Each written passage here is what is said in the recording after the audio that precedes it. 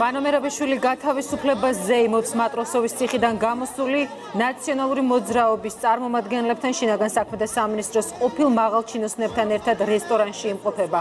ხმაური ამ წუთებში ქიქოძის ქუჩაზე ადგილზე ის ადამიანები შეიკრიბნენ, რომლებმაც სწორედ მერაბიშვილის და ნაციონალური მოძრაობის მართლობისას შვილები, ოჯახის წევრები დაკარგეს. რუსაშელია გამოშვების მსვლელობისას შემოგვერთება. პირდაპირ ეთერშია ქრონიკა 8 საათზე ახალ მომბებს ხატია კვათაზე და ლევან ჯავახიშვილი გაგაცნობთ. საღამოშვიდობის. თავდასხმა რუსეთის გენერალური შტაბიდან რამდენიმე თვიანი ძიების შემდეგ დადგინდა რომ მასშტაბური კიბერთავდასხმა ქართული მედიისა და სახელმწიფო სტრუქტურების წინააღმდეგ კრემლმა დაგეგმა საერთაშორისო გამოძიების შედეგებს მსოფლიო ეხმიანება ბანომერაბიშვილი ძალადობის ერთგული რჩება თითქმის 7 წლიანი პატიმრობის შემდეგ ყოფილი შინაგან საქმეთა მინისტრი და პრემიერი სახელმწიფოს დამხობით იმუქრება. სადმიდის რაბიშვილის გზა მატროსოვიდან? ყოფილი დიპლომატის პროვოკაცია. პრეზიდენტის ცენტრალურ აფრიკაში ვიზიტი ჩაიშალა. დაიბარებენ თუ არა გამოკითხვაზე მამუკა ჟღენც რომელმაც კონფიდენციალური ინფორმაცია გაასაჯაროა შალვა ნათელაშვილის საპატრიარქოს და სპორტსმენებს კრიმინალებს ადარებს და სამივეს ერთად ქართული ოცნების დასაყრდენს უწოდებს. უიღბლო პოლიტიკოსების თავდასხმა წარმატებულ სპორტსმენებზე ქართულ რაგბსა და მსოფლიოს ჩემპიონზე შეტევა გრძელდება. მასშტაბური კიბერშეტევა კრემლიდან საერთაშორისო გამოძიების შედეგებს ნათია სონღულაშვილი გაგვაცნობს. მერაბიშვილის ძალადობრივი მუხარა ლევან კვატაშიძე ემზადება პირდაპირ ეთერისთვის. ვინჩაშალა პრეზიდენტის ოფიციალური ვიზიტი ნატამახვილაძე ყოფილი დიპლომატის პროვოკაციის შესახებ ისაუბრებს. სპორტსმენების შეურაცხყოფა პოლიტიკური მიზნებით სანდრო გამსახურდია ემზადება პირდაპირ ეთერისთვის. საქართველოს პრეზიდენტის ოფიციალური უწყებების და რამდენიმე მედია საშუალების მათ შორის ტელეკომპანია იმედის ვებგვერდებზე კიბერშეტევა რუსეთმა განახორციელა ეს ქართული მხარის და საერთაშორისო პარტნიორების რამდენიმე თვიანი გამოძიების შედეგია. გასულ წელს იმედი ორჯერ გახდა ჰაკერების სამიზნე არხის ფუნქციონირება შეფერხდა კომპანიამ მატერიალურად მნიშვნელოვანი ზარალი განიცადა. ფართომასშტაბიანი კიბერშეტევის სამიზნე პრეზიდენტის ადმინისტრაციის სასამართლო სისტემის სხვადასხვა მუნიციპალიტეტის საკრებულოების სახელმწიფო და კომერციული ორგანიზაციების ვებგვერდებზე სერვერები, სერვერები და სხვა მართვითი სისტემებიც იყო.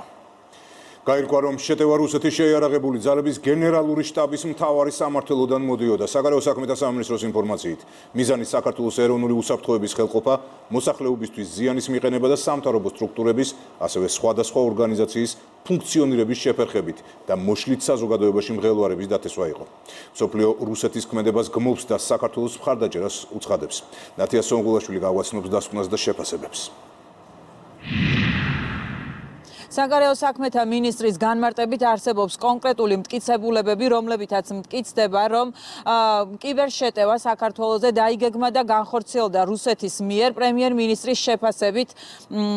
შეფასებით ეს არის საქართველოს ეს ისახავდა საქართველოს სუვერენიტეტის შელახვას და ასევე განცხადება გამოაქვეყნა პრეზიდენტის ადმინისტრაციამ, რომელიც შეტევის ერთ-ერთი მსხვერპლი იყო განცხადებაში ნათქვამია, რომ საქართველოს მიმართ წარმოებული ჰიბრიდული ომი თვალსაჩინო გამოვლინება. გასული წლის ოქტომბერში საქართველოს სახელმწიფო მედიამ და ბიზნეს სუბიექტებმა სრულიად უგუნური კიბერთავდასხმა განიცადეს. ეს შეუწყნარებელი აქტი მიზნად ისახავს ჩვენი სუვერენიტეტისადმი ძირის გამოთხრას. დიდად უაფასებთ მთელი მსოფლიოს ირგვლივ ჩვენი პარტნიორებისა და მოკავშირეების ძლიერ მხარდაჭერას.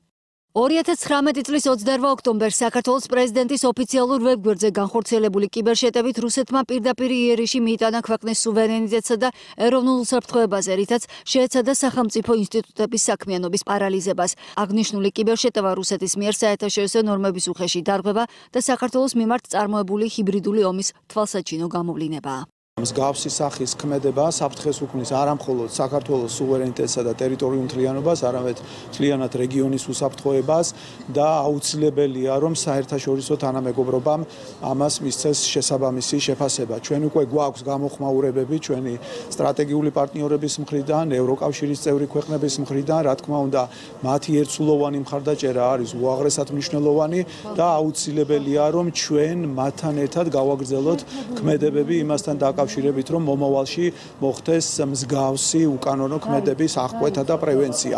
კიბერშეტევა, რომელიც რუსეთის ფედერაციამ განახორციელა საქართველოს წინააღმდეგ, ეს არის ქმედება და აქტი, რომელიც მიმართულია ჩვენი ქვეყნის სუვერენიტეტის და მისი უსაფრთხოების საწინააღმდეგოდ.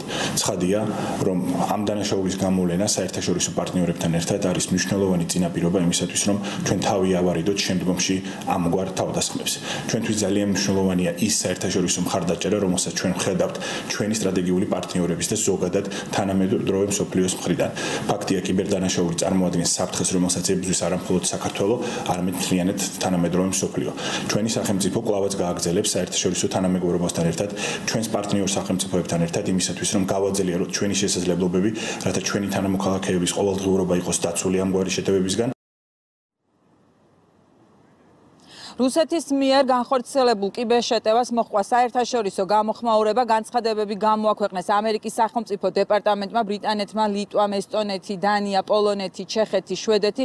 ყველა გმობს რუსეთის მიერ საქართველოსზე განხორციელებულ კიბერშეტევას მაიკ პომპეოს განცხადებით რუსეთმა უნდა შეწყვიტოს ასეთი ქცევა და ამერიკა დგას საქართველოს გვერდით. ასევე საქართველოს მხარდაჭერა გამოუცხადა ნატოს გენერალურმა მდივანმა. ის აღნიშნავს რომ საქართველოს ნატოს ახლო პარტნიორია და მოკავშირე ძალები მხარს უჭერენ საქართველოს ტერიტორიულ მთლიანობას და სუვერენიტეტს. გმობთ რუსეთის მიერ ქართველი ხალხისა და დაწესებულებების წინააღმდეგ განხორციელებულ კიბერთავდასხმებს და ვდგავართ საქართველოს გვერდით. რუსეთმა დაუყოვნებლივ უნდა შეწყვიტოს ასეთი ქცევა საქართველოსა და სხვა ქვეყნებშიც. კიბერსივრცის სტაბილურობა ყველა ქვეყნის პასუხისმგებლიან ქცევას ეყრდნობა. 2019 წლის 28 ოქტომბერს რუსეთის გენერალური შტაბის დაზვერვის მთავარი სამმართველოს სპეციალური ტექნოლოგიების მთავარმა ცენტრმა საქართველოს წინააღმდეგ ფართომასშტაბიანი შემაფერხებელი კიბერშეტევა განახორციელა. ინციდენტმა, რომელმაც პირდაპირ იმოქმედა საქართველოს მოსახლეობაზე შეაფერხა საქართველოს მთავრობისა და კერძო საკუთრებაში არსებული რამდენიმე ათასი ვებგვერდის მუშაობა და სუმცირე ორი მთავარი სატელევიზიო არხის ტრანსლაცია. ეს ქმედება ეწინააღმდეგება რუსეთის მცდელობებს, რომ კიბერსივრცეში თავი პასუხისმგებლიან ფაქტორად წარმოაჩინოს და წარმოადგენს რუსეთის გრუსმიერ რიგი ქვეყნების წინააღმდეგ განხორციელებულ უპასუხისმგებლო კიბეროპერაციების უწყვეტ სქემას. ამ ოპერაციების მიზანია განხეთქილების შეტანა დაუცველობის შექმნა და დემოკრატიული ინსტიტუტებისთვის ძირის გამოთხრა. ამერიკის შეერთებული შტატები მოუწოდებს რუსეთს შეწყვიტოს მსგავსი ქმედებები საქართველოსში და სხვაგან. კიბერსივრცის სტაბილურობა დამოკიდებულია სახელმწიფოების პასუხისმგებლიან ქცევაზე.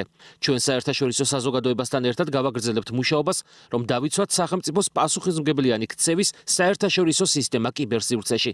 ჩვენ აგრეთვე პირობას ვდებთ საქართველოსა და მისი ხალხის წინაშე, რომ ხარს დაუჭერთ კიბერუსაფრთხოების გაძლიერებაში და მავნე კიბერაქტორებთან ბრძოლაში. საქართველოს საჯარო ინსტიტუტების გამტკიცებისა და მისი შესაძლებლობების გაძლიერებისთვის ჩვენ შევთავაზებთ დამატებითი შესაძლებლობების განვითარებას და ტექნიკურ დახმარებას მსგავსი ქმედებებისგან თავდასაცავად. ეს კიბერშეტევები ნაწილია იმ მტრული დესტაბილიზაციის გამომწვევი გზელვადიანი კამპანიისა, რომელსაც რუსეთი ახორციელებს საქართველოს წინააღმდეგ. გაერთიანებული სამეფო მკაფიოა იმაში, რომ გრუსმიერ განხორციელებული ეს კიბერშეტევები არის მცდელობა, შეარყიოს საქართველოს სუვერენიტეტი, დათესოს გაურკვევლობა და ზიანი მიაყენოს ქართველი ხალხის ყოველდღიურ ცხოვრებას. გაერთიანებული სამეფო რჩება საქართველოს სუვერენიტეტისა და ტერიტორიული მთლიანობის მტკიცე მხარდამჭერად.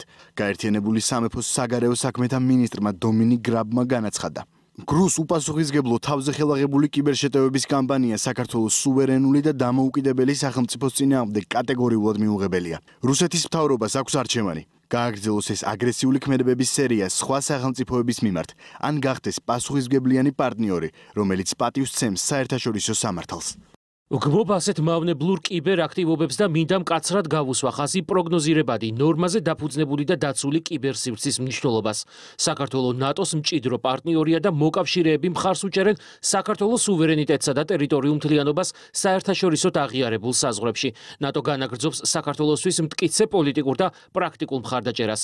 მათ შორისაა კიბერთავდაცვა, რომელიც ნატო საქართველოს არსებითი პაკეტის შემადგენელი ნაწილია და მიზნად ისახავს საქართველოს თავდაცვითი შესაძლებლობების გაზ გაძლიერებას. შეფასებები გაკეთდა საკანონმდებლო ორგანოშიც უმრავლესობის წევრების განცხადებით რუსეთს საერთაშორისო ასპარესზე მოუწევს პასუხის გაცემა. სამწუხარო ფაქტი ის არის, რომ საქართველოს თავისი გამოსაგამოძიებო მოქმედებები თავისი რესურსი არ ყოფნის მთლიანად რომ გასცეს საკადრესი პასუხი ასეთ საზარელ შემოტევას. ჩვენი პარტნიორები ჩვენთან ერთად მოქმედებენ როგორც ტექნიკური თვალსაზრისით, ასევე სერიოზული დაცვითი მექანიზმების შექმნის მიზნით. რუსეთი აგრძელებს თავის აგრესიულ ქმედებებს ამ შემთხვევაში ჰიბრიდული მეთოდებით საქართველოს წინააღმდეგ. მათი მიზანი არის ერთის მხრივ სახელმწიფო უწყებების მუშაობის შეფერხება, მეორეს მხრივ კი ამით საზოგადოების ერთგვარი დაშინება. ჩვენ თავისთავად ცხადია ამ საფრთხეებს, ამ რისკებს ვხედავთ მომავალშიც. შესაბამისად სახელმწიფო დგავს აუცილებელ ნაბიჯებს იმისათვის, რომ კიბერ თავდასხმების ნეიტრალიზაცია შეძლოს სახელმწიფომ, თუმცა ასევე უნდა აღინიშნოს, რომ ასეთ გამოწვევებთან ბრძოლა რთული არის და ამიტომ ჩვენ გავაგზავნებთ ჩვენს მჭიდრო თანამშრომლობას ჩვენს პარტნიორ ქვეყნებთან. კიბერშეტევის მსხვერპლი იყო. ტელეკომპანია იმედიც დღეს გაირკვა რომ შეტევა დაიგეგმა და განხორციელდა რუსეთის მიერ რუსეთი ამ ფაქტს უარყოფს და გავრცელებულ განცხადებაში ნათქვამია რომ რუსეთი არაპირებდა და არაპირებს რაიმე ფორმით ჩაერიოს საქართველოს შიდა საქმეებში. მადლობა ნათია ნათია სონგულაშვილი საუბრობდა პირდაპირ ეთერში კიბერუსაფრთხოების სპეციალისტების შეფასებით ეს იყო ბოლო 10 წლის განმავლობაში ყველაზე მასშტაბური კიბერთავდასხმა. მსგავსი პრეცედენტი მხოლოდ 2008 წელს აგვისტოს ომის დროს მოხდა რუსეთის მხრიდან მაშინაც. სწორედ ამიტომ კიბერუსაფრთხოების კონსულტანტები ამჯერადაც ვარაუდის დონეზე კრემლის კვალს ხედავდნენ მომხდარში ჯერ კიდევ გასულ წელს. დაჰაკული ვებგვერდების რაოდენობა 2000 საჭარბებდა და მათი გახსნისას ყოფილი პრეზიდენტის მიხეილ სააკაშვილის ფოტო ჩნდებოდა წარწერით მე დავბრუნდები. 28 ოქტომბერი დღის 4 საათი ტელეკომპანიების იმედის მაესტროსა და GDS-ის მაუწყებლობა მოულოდნელად წყდება. სამივე ტელეკომპანია პარალიზებულია დაახლოებით 40 წუთის განმავლობაში. IT სამსახური მაუწყებლობის აღდგენას ახერხებს, თუმცა სრულყოფილად ვერ. 24 საათიანი უწყვეტი მუშაობის შემდეგ კი ტექნიკური სამსახური დებს დასკვნას, რომ ადგილი ჰქონდა ტელეკომპანიების პარალიზების მიზნით ვირუსულ თავდასხმას. შედეგად ჰაკერებს წინასწარ ჰქონდათ განსაზღვრული, რა ინფორმაცია უნდა წაშლილიყო ტელევიზიებში კიბერდანაშაული გარკვეული შედეგად. წინასწარი ინფორმაციით და მოკვლევით სავარაუდოდ ეს იყო უფრო პარალიზებისკენ მიმართული ვირუსული თავდასხმა. კიბერთავდასხმის შედეგად იმეცსა და მაესტროში დაზიანდა ძვირად ღირებული ტექნიკა, შეიზღუდა წვდომა ინტერნეტთან. იმავე დღეს კიბერშეტევა განხორციელდა ათასობით სხვა რამდენიმე სამთავრობო და კერძო ვებგვერდზე. ოფიციალური პირველი გვერდების ნაცვლად ჰაკერებმა მიხეილ სააკაშვილის ფოტო გამოაქვეყნეს წარწერით დაუბრუნდები. 28 ოქტომბრის კიბერშეტევას კომპანია პროსერვისმა, რომლის სერვერებზე სახელმწიფო უწყებების კერძო სექტორისა და მედია ორგანიზაციების ვებგვერდებია განთავსებული, ყველაზე მასშტაბური უწოდა. გამოძიება დაიწყო შინაგან საქმეთა სამინისტროს სამინისტრომ. კიბერდანაშაული, მსოფლიო დანაშაული არის ეს გამოწვევა არის საქართველოსთვის და მთელ მსოფლიოსთვის. ანუ ესეთი რამე სამწუხაროდ სხვა ქვეყნებში ხდება, დაუყოვნებლივ დავიწყეთ ჩვენ გამოძიება. ტელეკომპანია იმედზე კიბერშეტევა 3 ნოემბერს ღამით განმეორდა და არხი 30 წუთის განმავლობაში ისევ გაითიშა. ამჯერად ტელეკომპანიის ქსელში შეაღწია კრიპტოვირუსმა, რომელიც შიფრავდა და აზიანებდა ვიდეო ფაილებს. როდესაც საქართველოს კიბერსივრცეში ხდება ესეთი დესტრუქციული მოქმედება, პირველად ფიქრი ყოველთვის რუსეთისკენ გარბის, ვინაიდან რუსეთი არის ერთ-ერთი ყველაზე უფრო ძლიერი დესტრუქციული კიბერაქტორი და მან არაერთხელსა და კონკრეტულად საქართველოს წინააღმდეგაც კიბერშეტევების გამოყენება კიბერთავდასხმის სპეციალისტებმა კიბერტერორიზმის კვალიფიკაცია მალევე მისცეს და მასში ოკუპანტის კვალიც დაინახეს. მაშინ ანალიტიკოსები ამბობდნენ, რომ თავდასხმამ უპრეცედენტო მასშტაბს მიაღწია და სავარაუდოდ ჰაკერები პერსონალურ ინფორმაციაზე გავიდნენ. კიბერტერორიზმი მოიცავს არა მარტო საიტების დაბლოკირებას, ანუ ინფორმაციის გატეხვას, არამედ ის მოიცავს კიდევ სადაზორო ინფორმაციების ტიპის ოპერაციების განხორციელებას და ასევე კიდევ ეს არის ერთგვარი კიდე გლობალური ტესტის ჩატარება, რამდენად დაუშვათ დაცულია სახელმწიფო მასშტაბში გარკვეულწილად ის სტრატეგიული ობიექტები, რომელიც შემდგომში შეიძლება იქნას გამოყენებული კიბერომის წარმოებისათვის. საერთაშორისო და ქართული მხარის ერთობლივი გამოძიების შედეგად დაადგინდა, რომ 28 ოქტომბრის მასშტაბური კიბერშეტევის ავტორი რუსეთის შეიარაღებული ძალების გენერალური შტაბია. ვანო მერაბიშვილი გათავისუფლებას ხელისუფლების დამხობის გეგმით შეხვდა. შვიდწლიანი პატიმრობის შემდეგ მისი მთავარი საქმე სწორედ ეს აღმოჩნდა. მუხარის გარდა ყოფილ მაღალჩინოსანს, რომელიც სისხლის სამართლის ხუთ საქმეში გამტყუნდა და მატროსოვის ციხეში ასე აღმოჩნდა, მიაჩნია, რომ სასჯელ აღსრულების ამ დაწესებულებაში პოლიტპატიმრები იმყოფებიან. მე გაძლევ გარანტიას, რომ ერთ წელიწადში ეს ხელისუფლება დასრულდება. ეს არის აუცილებელი იმისათვის, რომ ქვეყანაში დაიწყოს განვითარება. ქვეყანა წავიდეს წინ წლის ბოლომდე. მე გაძლევთ გარანტიას, რომ ამ ხელისუფლების დამხობის მერე აი ამ ციხის კარები ფართოდ გაიგება. და ყველა ის პოლიტპატიმარი, რომელიც ამ ციხეში ზის და მე ვამობ, რომ ვინც მე ვიცი, ვინც ამ ციხეში ზის, ყველა არის პოლიტპატიმარი. ვინ მაგალითად? ყველა ვინც ამ ციხეში ზის, არის პოლიტპატიმარი. უბრუნდებით ქიქოძის ქუჩას, სადაც ვანო მერაბიშვილი ახლა გათავისუფლებას ყოფილ თანამოაზრეებთან, თანაგუნდელებთან და ასევე შინაგან საქმეთა სამინისტროს ყოფილ მაღალჩინოსნებთან ერთად აღნიშნავს, ადგილზე არიან ის ადამიანები, რომლებმაც მერაბიშვილის მართლობისას და ნაციონალური მოძრაობის ხელისუფლებაში ყოფნისას ოჯახის წევრები დაკარგეს, ასევე ახალგაზრდები, მათი პროტესტის შესახებ საუბრებს ახლა რუსა შელია, რომელიც პირდაპირ ეთერში გვერდება, რუსა გისმენთ.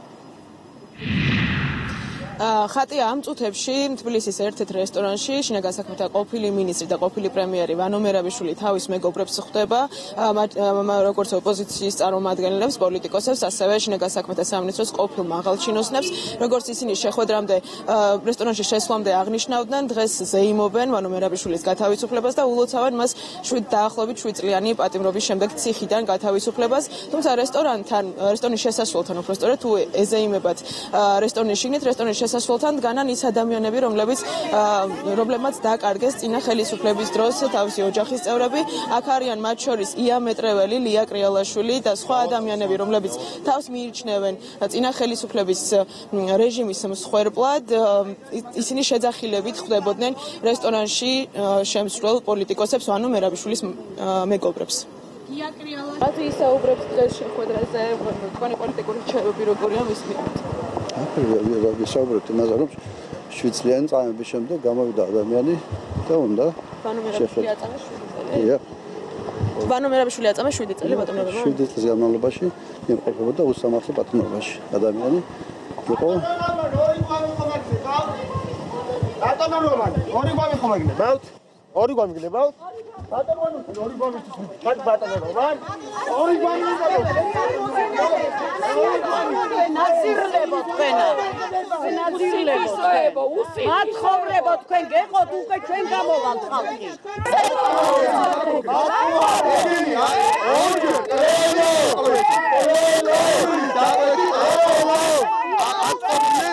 სახელმწიფო გადატრიალებას ხოლო.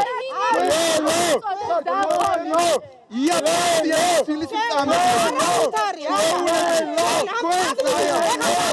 ვანოს შესაძლებელი. ვანოს შესაძლებელი. საერთო პოლიცია. არა, ბიბლიანის უნდა კრიმინალების დამქაშება. თქვენი რეჟიმი. არის კრიმინალური რეჟიმი. მე როგორც გითხარით აქ რესტორნის შესასვლელთან არიან შეკრებილები წინა ხელისუფლების რეჟიმის მსხვერპლთა ოჯახის წევრები როგორც ისინი აცხადებენ მათი ოჯახის წევრებსაც სურდოდათ დღეს სურდათ დღეს ეზეიმათ და ოჯახის წევრებთან ერთად გაეტარებინათ. დრო შეგვიძლია ეს კომენტარებიც მოვისმინოთ კრიალაშვილისა და იამეტრეველის პოზიცია ეს კი არ უნდა ქეიფობდეს, ფეხქვეშ მიწაუნდა ეწოდეს ამათ და ამის მომხრეებს და ნაციონალური პარტიის წევრებს. მოვედი იმიტომ რომ უნდა გავაპროტესტო და მინდა რომ თვალებში ჩამხედოს, მინდა რომ დააბრუნოს ჩემი ძმა, მინდა რომ დააბრუნოს ბუტა, იური, გიორგი, ზურა, რომელი ერთი ჩამოვთვალო ჩვილო, რომელი რამდენი ერთი. თვითონ წეღან თავის შვილს ეხუტებოდა, ჩემ ძმასაც უნდოდა თავის შვილები, ჩემ ძმიშვილებსაც უნდოდა თავის მამა. მიწიდან უნდა ამოიღო იყონ ესენი სუ ყველა და სუ ყველა ციხეში უნდა გაუშვათ. თუ სანამ ჩასვავენ ციხეში კიდე გამები არ მოითხოვა და ვინმე კიდე არ გაწირა. შეიძლება რომ დააღნიშნავენ მკვლელის, თავარი მკვლელის გამოსვას. თელი საქართველოს რო შავებში გაახვია და სისხლში აცურავა. ვაჟბატონმა მერაბიშვილმა, მაგრამ მარტო მერაბიშვილი კი არ უნდა ყოფილიყო ციხეში, ყველანი დასაჭერები არიან დანარჩენი ლიდერები. და ეს მერაბიშვილი 7 წელი ძალიან მცირეა მისთვის, რაც მას ჩადენილი აქვს. ამოუწურავისია იმ ახალგაზრდების რომლებიც გაჟლიტა მერაბიშულმა ამდენი წელი იჯდა ამდენი დრო ქონდა მონანიების და ფიქრის და მეგონა რომ გამოვიდოდა და რაღაცა ცოტა სინანულის გრძნობა მაინც ეკნებოდა გამოსული არ არის და პირდაპირ მუქარაზე არის გადასული. პირდაპირ გვემუქრება, რომ ამ ციხის კარები ფართოდ გაიღებაო და დავამხობ ხელისუფლებასო. მინდა გითხრათ, ნაცებო, თქვენი დასამხობი ხელისუფლება დამთავრდა უკვე. ვანო მერაბიშვილი რესტორანში უკანა შესასვლელიდან შევიდა, ჯერჯერობით მანქანა ისევ რესტორანთან დგას და როგორც ჩანს, ისევ გრძელდება შეხვედრა თბილისის ერთ-ერთ ცენტრალურ უბანში, რესტორანში დაგეგმილი შეხვედრა. ჩვენ მივადევნებთ თვალს როგორ გაგრძელდება და როგორ დასრულდება ვანო მერაბიშვილის ციხიდან გათავისუფლების აღსანიშნი შეხვედრა რესტორნის შესასვლელთან. გმადლობ ეს რუსა შელია იყო. და მანამდე მერაბიშვილმა პირველი პოლიტიკური განცხადება მატროსოვთან გააკეთა, სადაც მას ახლობლები და რამდენიმე ძველი თანამებრძოლი დახვდა. შესაბამისად გაირკვა, რომ ტაიმაუტს არიღებს. მაგრამ ვისთან ერთად აპირებს ბრძოლას, ეს იყო ერთ-ერთი მთავარი კითხვა ყოფილ პატიმართან. ლევან კვატაშიძეა პირდაპირ ეთერში, ლევან, სად მიდის ვანო მერაბიშვილი? დიდი ალბათობით ვანო მერაბიშვილი შეიძლება ვიხილოთ ევროპული საქართველოს რიგებში, თუმცა ეს საკითხი ჯერჯერობით გადაწყვეტილი არ არის, გადაჭრით. ამის შესახებ ვერ საუბრობენ თავად იმ პარტიაში, რომელიც თავის დროზე სწორედ ერთიან ნაციონალურ მოძრაობას გამოეყო, თუმცა უნდა ითქვას, რომ ვანო მერაბიშვილის გადაწყვეტილებას ასევე ელოდებიან ყოფილ სახელმწიფო პარტიაში. დღეს ორივე პარტიის წარმომადგენლები პირდაპირ აცხადებდნენ, რომ მერაბიშვილისთვის კარიერის ღია და გადაწყვეტილება მან თავად უნდა მიიღოს. მას შემდეგ რაც შინაგან საქმეთა ყოფილმა მინისტრმა დატოვა დღეს საშელახ აღსრულების დაწესებულება. შეიძლება ითქვას რომ გარკვეული ინტრიგა დატოვა მის პოლიტიკურ გეგმებთან დაკავშირებით. ასე არის. აა სწორედ აქ მინდა კითხო ინტრიგა ახსენე შენ. ხუთი გამამტყუნებელი განაჩენია დამდგარი ვანო მერაბიშვილთან მიმართებით თუმცა ორი საქმე არის ჯერ კიდევ სასამართლოში. ეს არის იმეჩი შემოჭრა და 7 ნოემბრის აქციის დარბევა. ხომ რა ხდება იმ შემთხვევაში? თუ აქაც გამამტყუნებელი განაჩენი დადგება და გამტყუნდება მერაბიშვილი ხატია იმ შემთხვევაში თუ ამ ჩამოთვლილ საქმეებთან დაკავშირებით დადგება გამამტყუნებელი განაჩენი ეს არნიშნავს იმას რომ მერაბიშვილი ავტომატურად დაბრუნდება სასჯელახსულობის დაწესებულებაში რადგან როგორც მისი ინტერესების დამცველები დღეს განმარტავდნენ მას თანთქავს 11 წლიანი სასჯელი რომელიც ვანო მერაბიშვილს თავის დროზე შეეფარდა და უკვე მოხდილი აქვს გულისხმობ გელაშვილის საქმეს. სწორედ გელაშვილის საქმე აერთიანებდა ჯამში იმ ხუთ საქმეს რაზეც თავის დროზე დადგა გამამტყუნებელი განაჩენი და განისაზღვრა სასჯელის ზომად 6 წელი და 9 თვე, რომლის ვადაც სწორედ დღეს ამოიწურა. თითქმის 7 წლიანი პატიმრობის შემდეგ ვანო მერაბიშვილისთვის ციხისკარი ზუსტად 10 საათზე გაიხსნა. ეგრეთ წოდებულ მატროსოვის ციხესთან ყოფილ შინაგან საქმეთა მინისტრს და ყოფილ პრემიერს მხარდამჭერები დახვდნენ, მათ შორის ძველი თანაგუნდელები, ასევე ის ადამიანები, რომლებიც ძალუან უწყებაში მერაბიშვილის მუშაობის პერიოდში მაღალ თანამდებობებს იკავებდნენ. მე გაძლევ გარანტიას, რომ ერთ წელიწადში ეს ხელისუფლება დასრულდება. 6 წლისა და 9 თვის სასჯელის ვადის ამოწურვის შემდეგ ვანო მერაბიშვილი ხელისუფლების დამხობის პირობასდებს. შინაგან საქმეთა ყოფილი მინისტრი იმუქრება და ამბობს, რომ მას შემდეგ რაც დღევანდელი ხელისუფლება დასრულდება, საპატიმროს კარი პოლიტპატიმრებისთვის გაიღება. ვინც მე ვიცი, ვინც ამ ციხეში ის ყველა არის პოლიტპატიმარი. ვინ მაგალითად? ყველა ვინც ამ ციხეში ზის არის პოლიტპატიმარი. ამ ხელისუფლების დამხობის მერე აი ამ ციხის კარები ფართოდ გაიღება და მიმართო ქართულ პოლიციელებს. ჩვენ ყველაფერს გავაკეთებთ იმისათვის შემეგობრებთან ერთად რომ პოლიციის ღირსება აღდგეს აღდგეს დობა გაუმჯობესდეს მათი სოციალური მდგომარეობა და ისევე როგორც ნებისმიერი სხვა პროფესიის ადამიანებისათვის საქართველოს სახური გახდეს არა ერთი კაცის და ერთი პარტიის სახური, არამედ ქვეყნის სამსახურის შეყოფნა. საპატიმროდან გამოსულ ვანო მერაბიშვილს გარეთ სხვა პოლიტიკური რეალობა დახვდა. ორად გაყოფილი ნაციონალური მოძრაობა. მერაბიშვილი აქტიურ პოლიტიკურ საქმიანობას აანონსებს, თუმცა ამ დრომდე არ ამბობს, რომელ პარტიაში მიდის. არ პასუხობს არც მიხეილ სააკაშვილთან დაკავშირებით დასმულ შეკითხვას. ჩემი უახლოესი მეგობრები და მათ შორის თანამებრძოლები, თანაპარტიელები ჩემს სამწუხაროდ დღეს სხვადასხვა პარტიაში არიან. როგორც ერთ, ისე მეორე პარტიაში. მე, რა თქმა უნდა, ყველა მათგან შევხვდები. ყველა მათ ას გავიზიარებ. გავეცნობი. და თუ საჭირო გახდება მივიღებ იმ გადაწყვეტილებას იმ მივიღებ იმ გადაწყვეტილებას რომელსაც ამ დასკვნებს გავაკეთებ. მე მჭირდება გარკვეული დრო. ნაციონალურ მოძრაობასა და ევროპულ საქართველოსში შინაგან საქმეთა ყოფილი მინისტრისთვის კარიხია. გადაწყვეტილება ახლა მერაბიშულმა უნდა მიიღოს. დიდი ალბათობით ის ყოფილი სახელმწიფო პარტიიდან წასულებს შეუერთდება სადაც ვანო მერაბიშვილის მისვლა სავარაუდოდ ახალ გადაადგილებას გამოიწვევს. კონკრეტულად გეგმებზე პოლიტიკაზე სხვადასხვა ტიპის განცხადებებზე თავად დაგელაპარაკებათ და საზოგადოებას თავად ამცნობს ამას. პარტიაში წავა ხომ არის? არანაირი სპეკულაციები ამასთან დაკავშირებით. ყველაფერზე პასუხს გასცემს მანომერაბიშვილი. ერთი პარტიაც და მეორე პარტიაც, რომელიც დღეს უკვე სხვადასხვა პარტიას წარმოადგენენ, არიან მისი მეგობრები. ამიტომ ის როგორ გადაწყვიტავს ამ ბრძოლას, ჩვენც დავემორჩილებით მის გადაწყვეტილებას და დავეთანხმებით მის გადაწყვეტილებას. საპატიმროდან გამოსულ ვანო მერაბიშვილთან კონსულტაციები მის სახლში გაგრძელდა. თანაგუნდელებმა ყოფილი პრემიერის დღევანდელი განცხადების ახსნას ცადეს და თქვეს, რომ ქვეყანაში ხელისუფლება მხოლოდ არჩევნების გზით შეიცვლება. საქართველოსი ხელისუფლება უნდა შეიცვალოს და შეიცვლება მხოლოდ არჩევნების გზით. მე არ მეგულება არც ერთი პოლიტიკოსი, რომელიც არჩევნების გზარ გარდა რაიმეს იხილავს საერთოდ. რა თქმა უნდა, ეგულისხმება მშვიდობიანი გზები ამ ხელისუფლების გასტუმრების და ამ ხელისუფლების შეცვლის. სხვა არანაირ გზას არავინ არ გულისხმობს. ვანო მერაბიშვილმა ეგრეთ წოდებული მატროსოვის ციხეში თითქმის 7 წელი გაატარა. სასჯელი იმ საქმეების გამო მოიხადა, რომლებიც შინაგან საქმეთა მინისტრის და პრემიერის პოსტზე მისი მუშაობის პერიოდს უკავშირდება. დღის მეორე ნახევარში ვანო მერაბიშვილი ისევ გამოჩნდა მედიასთან, ოღონდ აბაშიძის ქუჩაზე, მაშინ როდესაც დატოვა საცხოვრებელი სახლი. ბუნებრივია, ამ დრომდე არსებობს არაერთი შეკითხვა შინაგან საქმეთა ყოფილ მინისტრთან დაკავშირებით, რომელიც დაისვა სწორედ ჟურნალისტების მხრიდან, თუმცა შეიძლება ითქვას, რომ ვანო მერაბიშვილმა იმავე შინაარსის განცხადება გააკეთა, რაც პენიტენციურ დაწესებულებასთან. მერაბიშვილმა თქვა, რომ მას შემდეგ რაც ის ჩამოყალიბდება, მიიღებს გადაწყვეტილებას, ამის შემდეგ აუცილებლად გაახმოვანებს პოლიტიკურ გეგმებს და გადაწყვეტს თუ რომელ პარტიაში წავა. დავა. როგორც კი ჩამოყალიბდები, ჩემ გეგმებთან დაკავშირებით, უპირველეს ყოვლისა, თქვენ შეიტყობთ, მე მინდა დღევანდელი ჩემი დახვედრისათვის და გაშუქებისათვის ყველა ჟურნალისტს მადლობა გადაგიხადოთ, ბოდიში მოუხადო, რომ ჩემი ჩემ დაუნებურად მოხდა ის, რომ იქ ხაღა შეხლა შემოხლა იყო ჟურნალისტებს, დიდი მადლობა გადაგიხადოთ ყურადღებისათვის.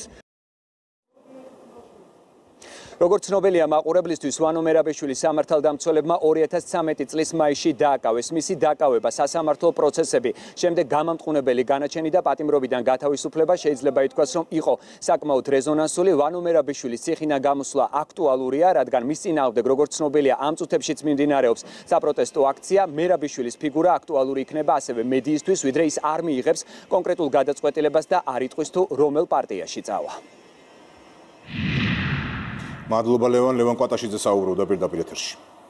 გათავისუფლებული მერაბიშვილის პირველმა განაცხადმა როგორც ჩანს მის მიმართ მიხეილ სააკაშვილის რიტორიკა შეცვალა როგორც 10 დღის წინ ყოფილი პრეზიდენტი აცხადებდა რომ არა მერაბიშვილის შეცდომები მის გუნდს მეტი შანსი ექნებოდა. თანამებრძოლს სამომავლოდ რჩევასაც აძლევდა. ციხიდან გამოსვლის შემდეგ ტაიმაუტი აიღო და ესვენა და ახსენებდა რომ მომავალში გახედვაა საჭირო და ეს ახალი ხალხისათვის შანსის მიცემას ნიშნავს და არა წრეზე ტრიალს მე როვანოს ადგილზე ვიყო და დაუბრუნდებოდი ჩემს ოჯახს მე დაუტყმებოდი ჩემ შვილებთან ახლოს ყოფნით მე ვიმოგზაურებდი ცოტა სოფლიოში გავახევდი თვალებს გავიხედე გამოხედავდი და მხოლოდ ამის შემდეგ რაღაც პერიოდის შემდეგ მივიღებდი რაღაც გასაგებია.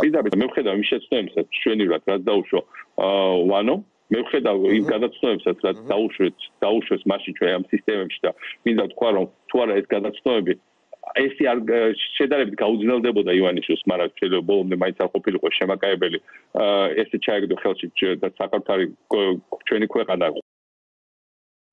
და დღეს უკვე სააკაშვილს ვანო მერაბიშვილისთვის აღარაფერი ურჩევია იუსტიციის მინისტრმა კი რეალობის ახმის რეკომენდაცია მისცა და გეგმების ამის შემდეგ დასახვა შესთავაზ. პოლიტიკური მომავალი ბუნდოვანია. ყოფილ მაღალჩინოსანთან თანამშრომლობა, როგორც მისი წარსულის, ისე დღევანდელი განაცხადის გამო ოპოზიციის დიდი ნაწილისთვის მიუღებელია. ნინო არღულიანია პირდაპირ ეთერში. ლევან ვანომერაბიშვილის პერსონა და ვანომერაბიშვილის პოლიტიკური გეგმები როგორც გაირკვა ერთნაირად მიუღებელია როგორც ოპოზიციის ნაწილისთვის ასევე მართველი გუნდისთვის ვინაიდან დღეს მოვისმინე ჩვენ შეფასებები რომლის მიხედვითაც ისინი ამბობენ რომ ვანომერაბიშვილს ამ ქვეყანაში პოლიტიკური მომავალი ვერ ექნება. რაც შეეხება განცხადებას დამხობასთან დაკავშირებით პოლიტიკოსები ამბობენ რომ ეს განცხადება რეალობასთან ახლოს ვერ მივა ვანო მერაბიშვილი არის კალენდრიდან ამოხეული ფუნქცია. თუ რომელიმე პარტია დაიკიდებს სიმბოლურად კედელზე, ეს მათი საქმეა. დამხობაზე რაც გითხრა, ჯობია ქუდი ჩამოიმხოს კარგად თავზე, რომ მისგან გამწარებულმა ვინმე მარიცნოს ამ ქალაქში. შეუძლია წავიდეს და თავის სახში დაიმხოს თავისი ავეჯიან რაღაცები თავზე.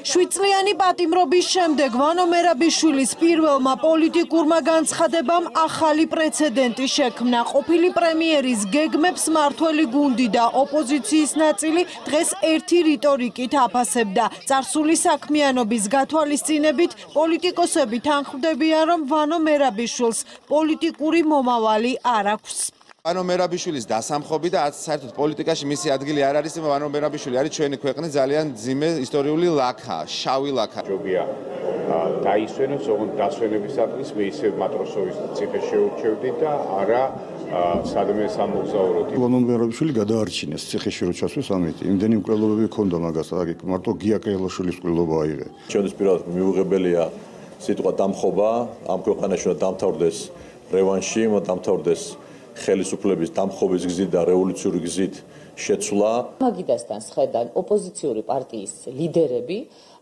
ბატონი მერაბიშვილი არ გახლავთ ოპოზიციური პარტიის ლიდერი ჯერჯერობით ყოველ შემთხვევაში. აქედან გამომდინარე, მე არ მგონია, რომ ვინმეს მოუვა თავში ის რომ ის ამ მაგიდასთან იყოს წარმოდგენილი. ეს იქნება სწორი. 26 მაისი 7 ნოემბერი ვალერი გელაშვილი ეს იმ საქმეების მცირე ჩამონათვალია რომელიც დღეს ვანო მერაბიშვილს ოპოზიციის გარდა მართლმა გუნდმაც გაუხსენა. დამხობა ყველაზე რბილი გამონათქვამია იმასთან შედარებით რის გამოც სასჯელს იხდიდა ამას ამბობენ ქართულ ოცნებაში და განმარტავენ რომ დამხობა ძალადობა კრიმინალი უკვე წარსულია და ვანო მერაბიშვილი დროს ჩამორჩა განცხადებიდან გამომდინარე აშკარაა რომ დროში და სივრცეში არის დაკარგული და ვაცადოთ ჩაეხუტოს ოჯახს აა გაერკვეს თუ რა რეალობაა, რა ხდება მე დივანო ოპოზიციას. კიდევ ერთხელ გვიმტკიცებენ რომ შემთხვევითი არ იყო ის დანაშაულები რომლებსაც ის ჩადიოდნენ ეს არის მათ სულში დანაშაულისკენ მიდრეგილება და შესაბამისად პირველივე განცხადება რაც მოვისმინე ჩვენ მისგან იყო სწორედ აგრესიული და ეხებოდა ხელისუფლების დამხობას თუმცა ჩვენ კიდევ ერთხელ შეგვიძლია ხაზი გავუსვათ იმას რომ ამის არავითარი რესურსი ნაცმოძრაობას თავისი არც ერთი ფრთით არ აქვს. ეს არის ადამიანი ვინც ის ორი გვამი არა მარტო მოთხოვნილი არამედ რეალური. ვინც ის დანაშაულებები რეალობაში ჩაიდინა განა არ აღიარებს დანაშაულს ზუსტად იცის მაგრამ ყველასთვის ვინც აი ჩვენ მოპირდაპირებ ხარეს დგას როგორც პოლიტიკური ოპონენტი ეს ჩეულებრივი ამბავია. შვიდე წელი როდესაც ციხეში გაატარებ შეიძლება რაღაც გონზე არ იყო და ის აგრესია რომელიც გქონდა შიგნით. დაბუდებული გამოანთხიო. კრიმინალური მენტალიტეტის მქონე ადამიანების ადგილი არ არის ქართულ პოლიტიკაში. კრიმინალური მენტალიტეტს ვებრძვით ჩვენ ვაგრძელებთ ბრძოლას და ქართული საზოგადოება გამოუტანს განაჩენს როგორც პოლიტიკურად ასევე მორალური თვალსაზრისით. ყველისგან ნელსონ მანდელა არ დადგება ეს. ერთი მეორე საკითხი. ნებისმიერ ამ ტიპის განცხადებაზე ბუნებრივია იქნება სამართლებრივი რეაგირება. ეს იყო წამოწდენა მაშინ მან უნდა ახსნას ეს. ეს იყო გეგმა გეგმის ნაწილი რომელიც მან განაცხადა და გააცხადა ახლა საკუთარი განცხადებით. ამაზე იქნება რეაქცია და რეაგირება დამნაშავისგან მორალის კითხვა დაუშვებელია. ამას ვალერი გელაშვილი აცხადებს. დეპუტატი რომლის ცემის ფაქტზეც მერაბიშვილის სასჯელს იხდიდა ყოფილი ministris დღევანდელ განცხადებაში ახალ დანაშაულს ხედავს. გამოვიდა და კიდე თავხედური განცხადებები გააკეთა რომ ამ ფეთრშულებას დაამხობს და ეგ უკვე მორიგი დანაშაულია რაზეც მან პასუხი უნდა აქვს იგი კრიმინალია და დამნაშავეა და ამიტომ მორალზე დაველაპარაკებით ვანო მერაბიშვილის უნდა მან საკმაოდ აწიოხა თავის ხელისუფლების პირობებში ბიზნესი და ამიტომ მას მორალზე მოვილაპარაკებით თბილისში განვითარებულ პროცესებს კიევიდან მიხეილ სააკაშვილიც გამოეხმაურა. ექს-პრეზიდენტი დღეს ვანო მერაბიშვილზე ამბობს, რომ მრავალწლიანი უსამართლო პატიმრობის შემდეგ ის ყოფილი პრემიერის შემართებით ამაყობს. რამდენიმე კვირის წინ კი ამავე მიხეილ სააკაშვილმა იგივე ვანო მერაბიშვილის შეცდომებსა და გადაცდომებში დაადანაშაულა და 2012 წელს ხელისუფლების ცვლილებაც მას დაუკავშირა. სანამ ყოფილი პრემიერი და ყოფილი შინა შინაგან საქმეთა მინისტრი თავად გადაწყვეტს ვისთან გააგრძელებს პოლიტიკურ საქმიანობას ოპოზიციური პარტიების უმრავლესობამ უკვე გადაწყვიტა რომ მასთან თანამშრომლობა გამორიცხულია ვანო მერაბიშვილის განცხადებებთან დაკავშირებით ჩვენ დღეს აღმასრულებელი ხელისუფლების წევრების განცხადებებით მოვისმინეთ. მათ შორის პრემიერ-მინისტრმა თქვა რომ ნაციონალური მოძრაობა და ვანო მერაბიშვილი ამ ქვეყნის უკვე წარსულია. მათ არაერთხელ ქონდათ მცდელობა და ხელისუფლების დამხობის თუმცა ეს მცდელობა არც წარსულში გამოვიდა და არც მომავალში გამოუვათ მათ. რაც შეეხება საქართველოს პრეზიდენტს დღეს მან მხოლოდ მცირე კომენტარი გააკეთა. კითხვის საპასუხოდ აღიქვამს თუ არა ის ხელისუფლების ოპ ოპონენტად ვანო მერაბიშვილს კონკურენტად ვანო მერაბიშვილს საომე ზურაბიშვილი ამბობს რომ ის მას კონკურენტად ვერ აღიქვამს. ხელისუფლების ოპონენტს არ ხედავ რატომ? ვერ ვხედავ საერთოდ არ მინდოდა დღეს ამ თემაზე საუბარი მაგრამ კიდევ ერთხელ დასტურდება რომ საერთოდ ნაციონალური მოძრაობა გუშინდელი დღეა. ჩვენ უნდა ვიფიქროთ ხვალინდელ დღეზე. ჩვენ უნდა ვაკეთოთ და ვიშრომოთ იმისთვის რომ ეს ქვეყანა იყოს გამოწვევების და დამხობების ქვეყანა კი არა, შესაძლებლობების ქვეყანა ახალგაზრდობისთვის. საერთოდ ეს გუშინდელი ძალადობრივი დღე დღეს პირველი ერთი პირველ წუთებზე თავისუფლების ადამიანმა თქვა, რომ დავამხობო სიტყვა სიტყვით. დავასრულებ კი არ უთქვამს, შევცვლი კი არ უთქვამს. თქვა, რომ დავამხობო. მოით ასე შევთანხმდეთ, რომ ჩვენ ვიყურებთ ვიყურებით წინ მომავლისკენ ეს მცდელობები დამხობის რამდენჯერმე ქონდათ და არც ერთხელ არაფერი არ გამოვიდათ. არც აცი გამოუვათ. ჩვენი მიზანია ხვალინდელი დღე, მომავალი ძლიერი საქართველო, რომელიც არის შესაძლებლობების ქვეყანა და არა გადატრიალებების, დამხობების და აი ამ უბედურებების ქვეყანა, რომელიც წარსულში დავტოვდა. არავით არის განსაკუთრებული არ მოხდა და არც მოხდება. ციხიდან გამოვიდა ჩვეულებრივი კრიმინალი, რომელიც ჩვენს მოქალაქეებს ახსოვთ როგორც ერთ-ერთი მთავარი შემოქმედი ბოროტი დანაშაულების სისტემის რომელიც მან შექმნა სააგაშთან ერთად, ბუკერიასთან ერთად ერთად და განსაკუთრებული მაგით არაფერი არ მოხდა. ის რომ დღეს კიდევ ბედავს ეს კრიმინალი და ერთ-ერთი სახე ამ გარყვნილი დინზური სისტემის რომელიც მათ შექმნა წლების მანძილობაში ისინი მართავდნენ ასეთი დანაშაულ რეჟიმით. დღეს რომ ბედავს ასეთი განცხადების გაკეთებას რა თქმა უნდა ეს არის გიმილის მონგრელი ის თავად არის დამხობილი და მე არ მინდა დამხობილ ადამიანს ვისაუბრო. როდესაც პატიმარი რამდენიმე წუთის გამოსულია საპატიმროდან, რა თქმა უნდა, მას აქვს დეფორმირებული განცდა რეალობის. ბატონ ვანომერაბიშვილს, რა თქმა უნდა, მოუწევს დროსთან ერთად იმის შეფასება თუ რა დატოვა და რა დახვდა. მაგალითად, ნახავს, რომ ნაციონალური მოძრაობა სულაც აღარ არის ერთიანი, ეს არის დაქსაქსული ძალა და შემდეგ ამ დაქსაქსული ელემენტების დეგრადირების ხარისხის შეფასება მოუწევს. მოუწევს გაიაზროს, რომ ის რეალურად ქცეულია მისი ყოფილი პოლიტიკური ძალის დანაყოფებისთვის პოლიტიკურ და პიარულ ცხელკარტოფილად, რომელიც არავის ალბათ არ უნდა და დაიწყებენ მისით პინგ-პონგის თამაშს. იმიტომ რომ ის რეალურად არის პრობლემა, იმიტომ რომ როგორც თავად ეს ტერმინი გამოიყენა ერთ-ერთ ვიდეოში არის მეტრუპე. ეს პოლიტიკური შეფასებები დღეს ჩვენ მას შემდეგ მოვისმინეთ, რაც ვანო მერაბიშვილმა ეგრეთ წოდებული მატროსოვის ციხე დატოვა და ჯერ პოლიტიკაში დაბრუნების შემდეგ ისაუბრა, მერე კი შემდეგ კი ხელისუფლების დამხობა დაანონსა. მადლობა ნინო, ნინო არგულიანი საუბრობდა პირდაპირ ეთერში. 26 მაისი სანდრო გირგლიანის კვლელობაზე მტკიცებულებების გადამალვა გაყალბება. ვალერი გელაშვილის ცემის ორგანიზება კვარიათის აგარაკის მითვისება ასევე 2012 წლის არჩევნებში ამომრჩეველთა მოსყიდვა სახელმწიფოს ბიუჯეტიდან 5 მილიონ ლარზე მეტის გაფლანგვა. ეს არის გახმაურებული საქმეები რომლებშიც სასამართლომ უკვე თქვა რომ ვანო მერაბიშვილი არის დამნაშავე თუმცა ხუთი გამამტყუნებელი განაჩენის და ჯერ კიდევ მიმდინარე ორი საქმის ფონზეც არსებობენ. კვლავაც 7 წლის შემდეგ ადამიანები რომლებსაც მიაჩნიათ რომ ვანო მერაბიშვილი არის პოლი პატიმარი და მაგალითად გიგა ბოკერი აცხადებს, რომ ეს უნდა იყოს გაკვეთილი მომავალი მთავრობებისათვის, რომ ასე არ უნდა მოექცე პოლიტიკურ ოპონენტებს. თუმცა ნახოთ, გადავავლო თვალი იმ საქმეებს, რომელთა გამოც ვანო მერაბიშვილმა მატროსოვის ციხეში 7 წელი უკვე გაატარა. ორი გვამი მჭირდება. მომიტანეს ორი გვამი. всё. პრემია დიდია.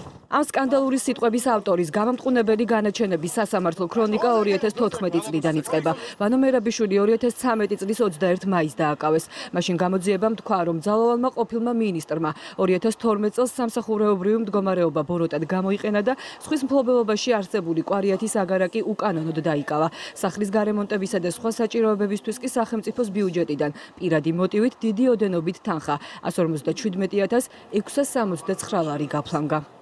მე ვიცი რომ საქართველოსი არის ძალიან ბევრი უმუშევარი. მე მესმის მათი და მე ყველაფერს გავაკეთებ იმისათვის რომ ამ ადამიანებს მიეცათ დამატებითი შესაძლებლობა დასაქმებისა. ვანო მერაბიშვილმა პრემიერობის პირველივე დღეს დასაქმების გეგმა დასახა. დაპირების სისრულეში მოყვანა კი დანაშაულებრივი აღმოჩნდა. კიდევ ერთი ბრალდება მის წინააღმდეგ სწორედ ამ პერიოდს უკავშირდება. გამოძიებით გაირკვა რომ მაღალჩინოსნის დავანებით წინასწარ შემუშავებული სქემით დასაქმების პროგრამა შეიქმნა რომლის რეალური მიზანი ერთიანი ნაციონალური მოძრაობის სასარგებლოდ 2012 წლის 1 ოქტომბრის არჩევნებში ამომრჩეველთა მოსყიდვა იყო. სულ სახელმწიფოს ბიუჯეტიდან 5 მილიონ 250.880 ლარი გაიფლანგა ხალხი ხალხი მოაწყდა და ხალხი კრემტულ ნაგუსოები. შეურა შეურა წოფილი. ასეთი განაჩენი გამოტანის მე არ წავიკითხე, კიდე კარგი არ წავიკითხე. ამ სიტყვების შემდეგ ყოფილ მაღალჩინოსან საპრობილეში ყოფნა კიდევ რამდენიმე წელი მოუხდა. 4 წლითა და 6 თვით პატიმრობა მერაბიშულს 26 მაისის აქციის დარბევის ეპიზოდზე განისაზღვრა.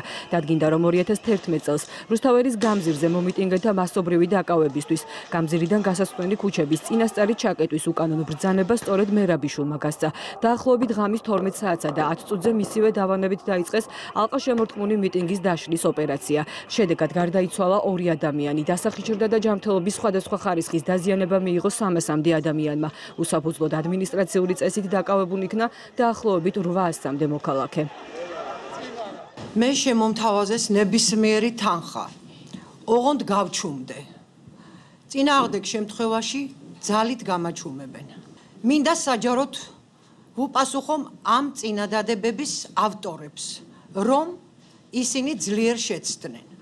შულმოკლ დედას ყოფილი ხელისუფლების წარმომადგენლები აშანტაჟებდნენ. ამის მიზანი რეალური ფაქტების საზოგადოებისთვის დამალვა იყო. სწორედ სანდრო გირგუნიანის საქმეზე მტკიცებულებების გადამალვა გაყალბებისთვის და დათა ახალაიას საქმეში მონაწილეობის დაფარვისთვის 2014 წლის 20 ოქტომბერს მერაბიშვილს სამი წლით თავისუფლების აღკვეთა შეეფარდა.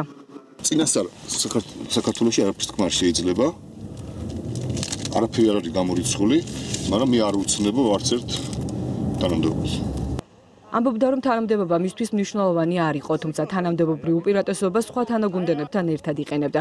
კიდევ ერთი გამამტყუნებელი განაჩენი ვალერი გელაშვილის ცემის საქმეზე გამოცხადდა. მტკიცებულებების მიხედვით ყოფილ დეპუტატზე სასტიკი ანგარიშწორება გაზეთ რეზონანსში გამოქვეყნებულ სტატიას უკავშირდებოდა. სადაც გელაშვილი წართმეული ქონების გამო სააკაშვილს ლანძღავდა მაშინდელმა პრეზიდენტმა შინაგან საქმეთა მინისტრს გელაშვილის დასჯა მოსთხოვა დანაშაულისთვის ვანო მერაბიშვილს 6 წელი და 9 თვე შეეფარდა ეგრეთ წოდებულ მატროსოვში თითქმის 7 წლიანი პატიმრობის შემდეგ ციხის გარეთ ვანო მერაბიშვილი ისევ განაჩენის მოლოდინშია. სასამართლო ამ დრომდე განიხილავს ტენე იმეჩის შეჭრისა და 7 ნოემბრის აქციის დარბევის საქმეს. გამოძიების ინფორმაციით 2007 წლის 7 ნოემბერს რუსთაველის გამზირზე საპროტესტო ტალღის ძალადობრივი გზით დაშლის უკანონო ბრძანება სწორედ ვანო მერაბიშვილმა გასცა. მისივე დავანებით სპეცრაზმენები უკანონოდ შეიჭრნენ თაწმინდის პარკში, პადარკაციშვილის კუთნილ შეპესე ნინქსის ტერიტორიაზე და ტელეკომპანია იმედის შენობაში. სწორედ აი ამ წარსულის გამო შეიკრიბა საზოგადოების ნაწილი ცოტა ხნის წინ ქიქოძის ქუჩაზე, იქ სადაც გათავისუფლებული პატიმარი ვანო მერაბიშვილი ყოფილ თანაგუნდელებთან და შინაგან საქმეთა სამინისტროს ყოფილ მაღალჩინოსნებთან ერთად აღნიშნავდა მატროსოვის ციხიდან გამოსვლას. მან რამდენიმე წუთის წინ უკვე დატოვა რესტორანი, როგორც ხედავთ კადრებს და კითხვებს არ უპასუხა ჟურნალისტების. ადგილზე იმყოფებოდნენ ის ადამიანები, რომლებმაც სწორედ მერაბიშვილის და ნაციონალური მოძრაობის მართლობის და ეს ოჯახის წევრები. და დღის სხვა თემები ახალგაზრდები ელენე ხოშტარიასგან ბუდიშის მუხტას და მანდაძე უარის თქმას მოითხოვენ აქციები მას შემდეგ ტარდება რაც ევროპული საქართველოს წარმომადგენლებმა საქართველოს პარლამენტის სასესიო დარბაზში საბჭოთა კავშირის ჰიმნი ჩართეს და პარლამენტის თავმჯდომარეს ყოველწლიური ანგარიში ამ ფორმით გააწყვეტინეს. არჩილ თალოკვაზე კი ამ დროს ოკუპაციაზე საუბრობდა. ნუცა ტრაპაიძეა პირდაპირ ეთერში. სიტყვით ევროპელების საქმით კი რუსები და ოკუპანტები. ამ შინაარსის სტიკერები გააკრეს ცოტა ხნის წინ აქციის მონაწილეებმა. ევროპული საქართველოს ოფისის კედლებზე და კიდევ ერთხელ მოითხოვეს რომ დეპუტატმა ელენე ხოშტარიამ დატოვოს მანდატი. ამბობენ რომ მათთვის მიუღებელია ნებისმიერი სახით საბჭოთა სიმბოლიკის გამოყენება და რომ ეს არის კანონით აკრძალული უკვე მესამე დღეა. ახალგაზრდები აპროტესტებენ საქართველოს პარლამენტში. ევროპული საქართველოს ლიდერების მიერ საბჭოთა ჰიმნის გაჟღერებას ამბობენ რომ არაპირებენ რომ აქციები გაგრძელდება მანამ სანამ ელენე ხოშტარია არ დატოვებს მანდატს როგორც გითხარით უკვე მესამე დღეა ისინი მართავენ აქციებს ამბობენ რომ არ ეკუთვნიან არც ერთ პოლიტიკურ ძალას და რომ აქციაზე იდნენ 20 ივნისის ღამესაც მას შემდეგ რაც საქართველოს პარლამენტში რუსი დეპუტატი გამოჩნდა. მე ვიდექი 20 ივნისაც გაგიმოვის ხამეს და ვაპროტესტებდი რუსეთის მოქალაქეს ჩემპიონის პარლამენტში ჯდომას. მე დღეან მოკისმის ვაპროტესტებ. ვაპროტესტებ იმას, რომ არ არის ჩემთვის სასიამოვნო მოვისმინო საბჭოთა კავშირის იმი ჩემი ქვეყნის პარლამენტში, მაშინ როცა ჩვენ პატრიოტიზმზე, მაშინ როცა ჩვენ ვსაუბრობთ ევროპის კენსტრაფაზე, ვფიქრობ, რომ ეს ევროპელობა და ეს სამარცხინოა და არა პირიქით. იკრძალება კანონის საბჭოური სიმბოლიკის გამოყენება სხვადასხვა სახით და ეს არ უნდა ხდებოდეს საქართველოს პარლამენტში, კანონმდებელ ორგანოში, სადაც კანონები უნდა იქმნებოდეს და არ უნდა ირღვეოდეს. მოვითხოვთ რომ შესაბამისად კომპეტენტ კომპეტენტურმა ადამიანებმა დააყენონ კანონმდებლობის დარღვევის შესაბამისი რეაგირების საკითხი. შეგახსენებთ რომ ევროპული საქართველოს დეპუტატებმა საქართველოს პარლამენტში საბჭოთა კავშირის ჰიმნი მაშინ გააჟღერეს, როდესაც პარლამენტის თავმჯდომარე არჩილ თალკვაძე 2019 წლის 2019 წლის ანგარიშს წარადგენდა და საუბრობდა სწორედ ოკუპაციაზე. მადლობა ნუცა, ნუცა ტრაპაიძე საუბრობდა პირდაპირ ეთერში, ჩვენ კი რამდენიმე წუთში რეკლამის შემდეგ დაბრუნდებით.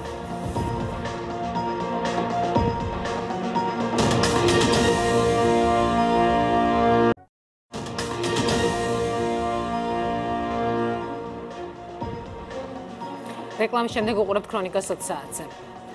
სპორტსმენების შეურაცხყოფა პოლიტიკური მიზნებისათვის შალვა ნათელაშვილი ამჯერად რაგბის ესხმის თავს და ჩემპიონებს კუნთიან სულ ამოცლილებად მოიხსენიებს. არგუმენტი კი ის არის, რომ რაგბის კავშირმა ბიძინა ივანიშვილს წერილობით დაბადების დღე მიულოცა. ეს სპორტის ის სახეობაა, რომლის განვითარებისათვის ივანიშვილის ფონდ ქართუს 2000-დან 2019 წლის ჩათვლით 184 მილიონ ლარზე მეტი აქვს გამოყოფილი.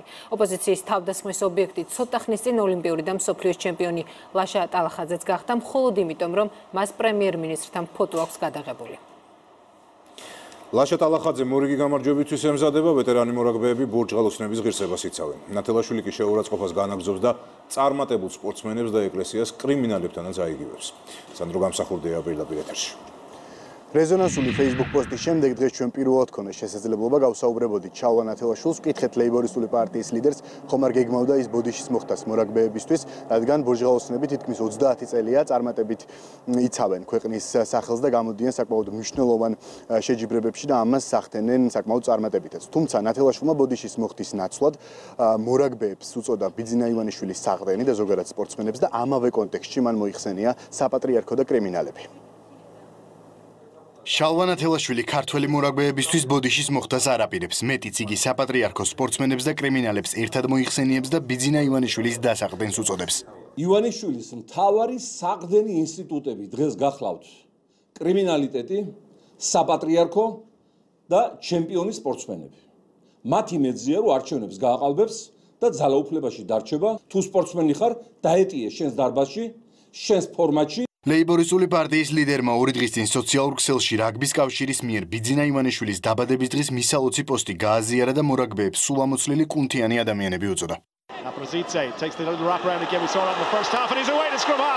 საქართველოს მურაგბეთა ნაკრები 8 გზის ევროპის ერთათასის ფლობელია. ბორჯალოსნების ნაკრები ერთადერთია გუნდურ სპორტის სახეობაში, რომელმაც მთავარ ფორუმზე სოფლიოს თასზე გასვლა მოახერხა თანაც ზედიზედ 5ჯერ. ქართულ რაგბის 20 წელზე მეტია აქტიურად ეხმარება ქართულ ჯგუფი.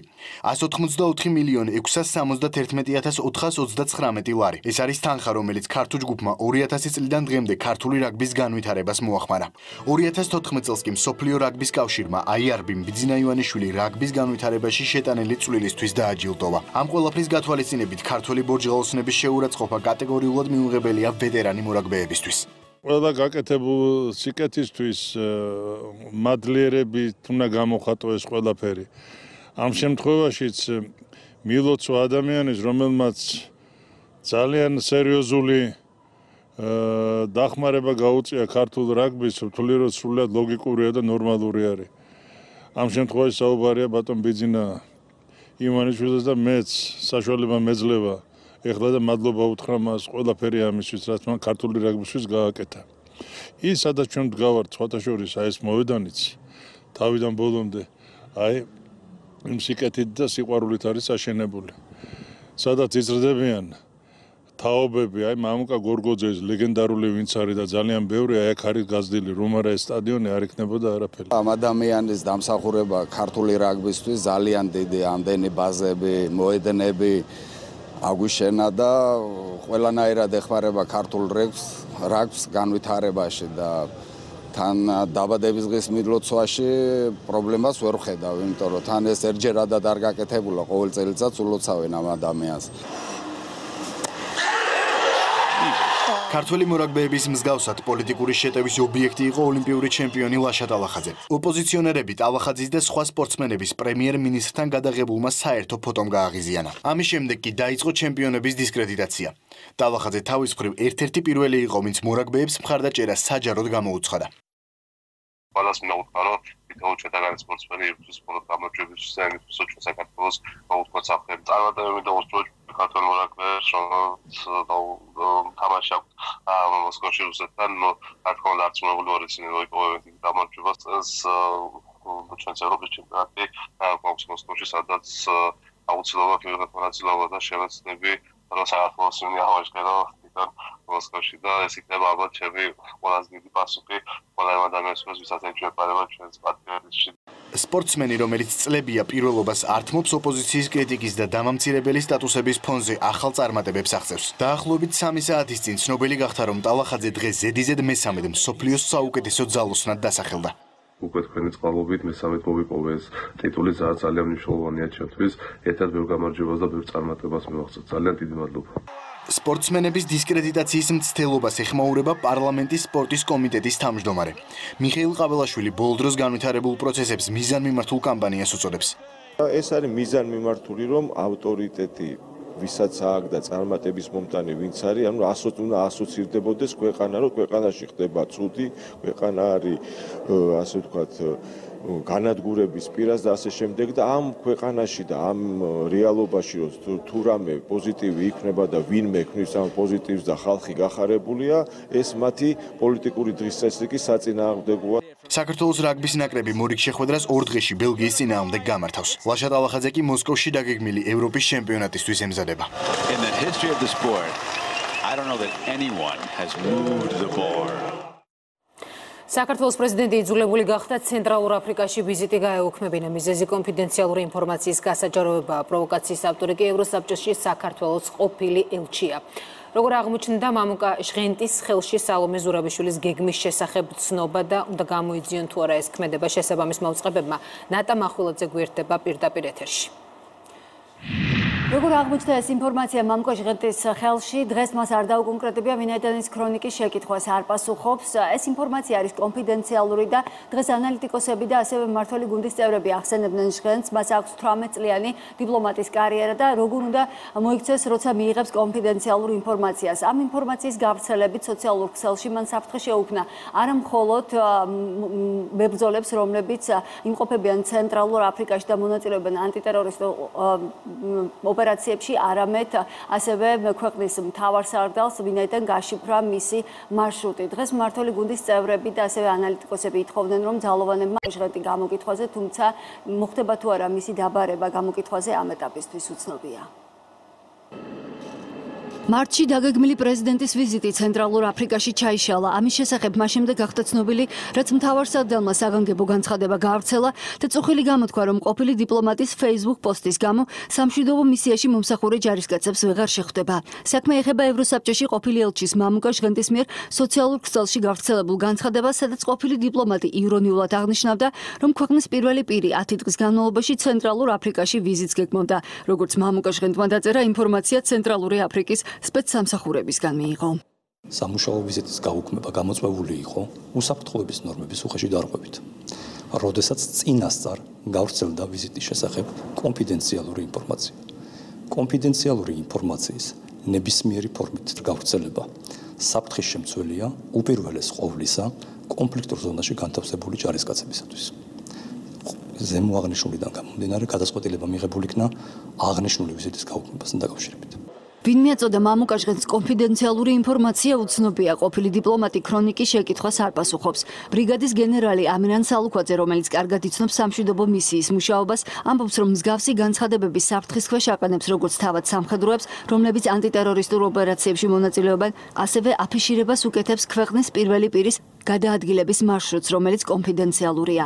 ანალიტიკოსი ამბობს რომ აუცილებელია ძალოვანებმა ყოფილი დიპლომატი გამოკითხვაზე დაიბარონ როგორც მინიმუმ არის გამოკითხვის საფუძველი თუ რატომ გააკეთა ეს საიდან მიიღო ეს ინფორმაციები? რეალურად მიიღო თუ არა იმ თავისი კოლეგებიდან ვიზეთ საუბრობს და ასე შემდეგ. დანარჩენი უკვე სამართალდამცავი სტრუქტურების გადასაწყვეტია. ფაქტია რომ ვიზიტი გადაიდო. აქ იმაზე არა საუბარი რომ ჩვენ სამხედროებს სახელმწიფოს ხელმძღვანელობა მარტში მოინახულებს თუ ივნისში აქ თვითონ ფაქტი არის კატეგორიულად მიუღებელი და დიპლომატს ეს რა თქმა უნდა არ შეეფერება. მართალ გუნჩი მიაჩნიათ, რომ ანტისახელმწიფოებრივი განცხადებებით ყოფილი დიპლომატი პოლიტიკური ქულების ჩაწერას ცდილობს. თავდაცვის და უშიშროების კომიტეტის თავმჯდომარემ მამუკაშღენს 18 წლიანი დიპლომატიური სამსახურის ეტიკეტი შეახსენა.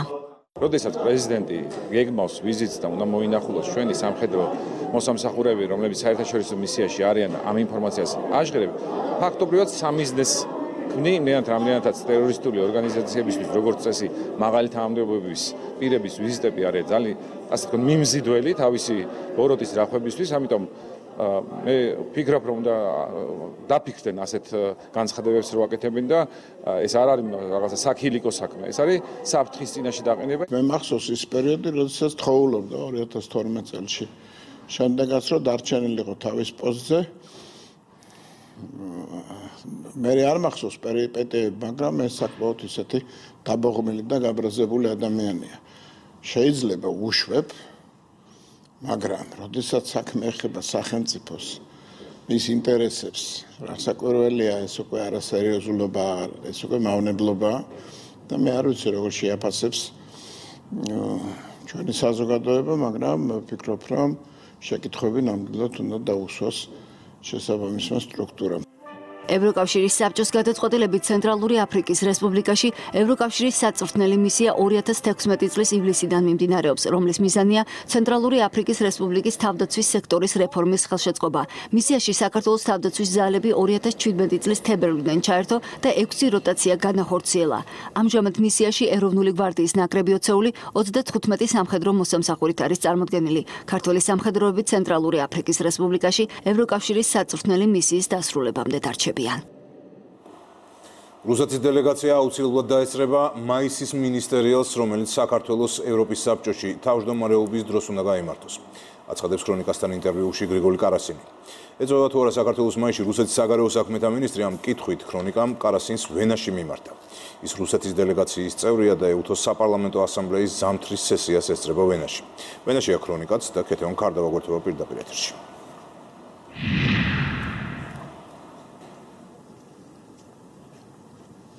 მოგესალმებით გრიგორი კარასტინმა ქრონიკასთან საუბარში გამორიცხა რუსეთის საგარეო საქმეთა მინისტრის სერგეი ლავროვის საქართველოსში ვიზიტი მიმდინარე წელს მაისში მინისტერიალზე.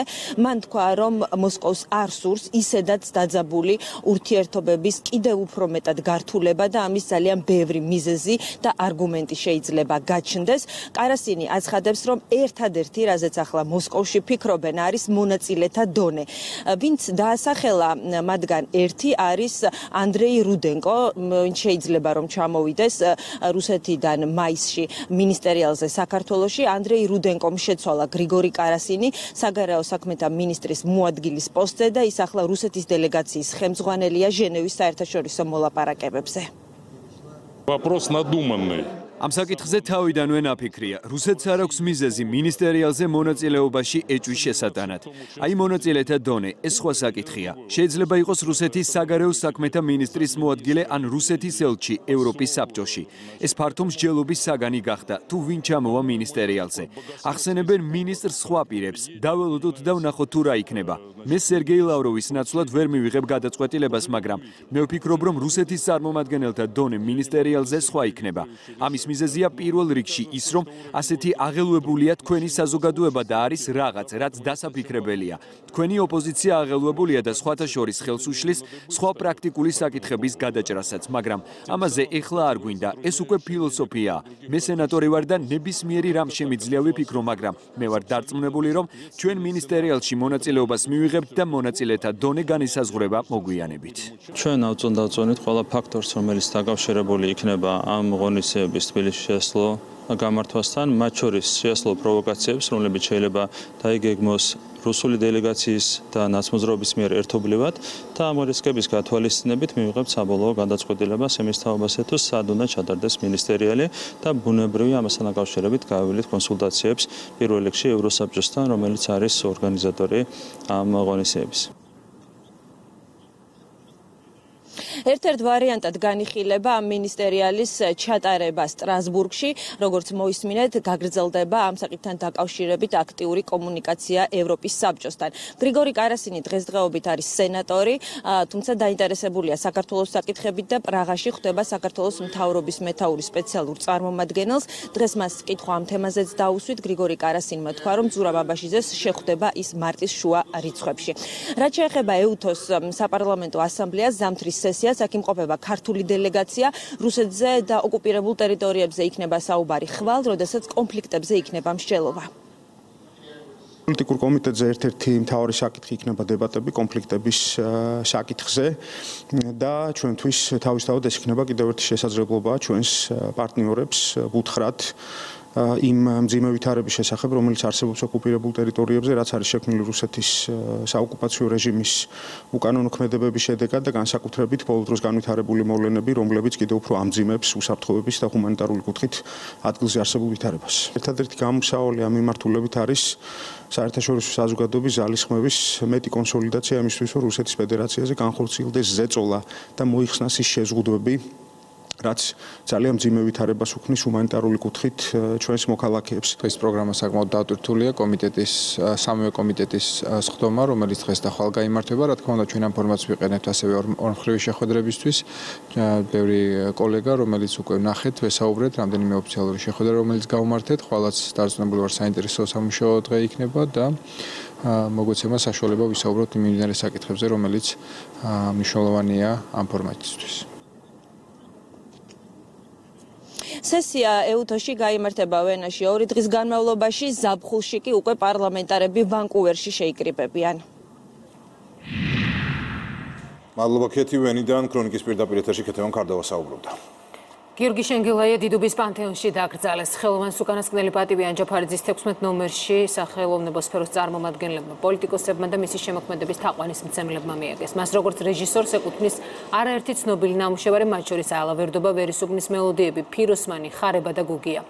მრავალი მნიშვნელოვანი საერთაშორისო ჯილდოს მფლობელი შენგილაია ასევე იყო რუსთაველის პრემიის ლაურეატი და საქართველოს სახალხო არტისტი. ცნობილი რეჟისორი, სცენარისტი და მსახიობი 82 წლის ასაკში გარდაიცვალა.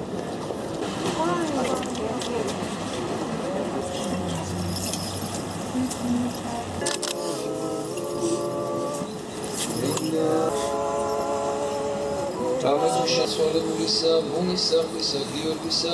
რეჟისორი ამ წუთში თქვი, რომ ეს არის ის ოჯახი, არა მხოლოდ ერთი რეჟისორი, უნიჭიერესი რეჟისორი, მაგრამ თლიანად ოჯახი, რომელმაც შექმნა საქართველოს კინო და არა მხოლოდ საქართველოს კინო, საქართველოს კულტურა და საქართველოს ეროვნული სულის ძალიან დიდი ნაწილი. ძალიან დიდი განაკლისი განიცადა განვიცადეთ ყველა მთელმა საქართველოს და არ ვიცი მე ასეთი დიდი რეჟისორი რა და მე რაღაცა ბედნიერად ვთვლი ჩემ თავს რომ ის ორ ფილმში მივიღე მონაწილეობა. ბედნიერი ვარ რომ მას ვიცნობდი და აი ასეთ დიდ რეჟისორთან საოცარი ფილმების ალავერდობის ფილოსმანის აი საოცარი ფილმების ავტორთან და შემოვლთან ქონდა შეხება.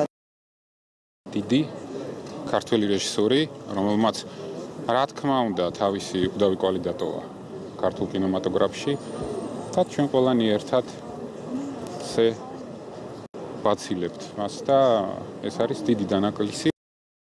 სინგლის სპორტის სიახლეები და ამიდის პროგნოზი ჩვენ კი შევხვდებით ხვალ საღამოს 8 საათზე. ხვალამდე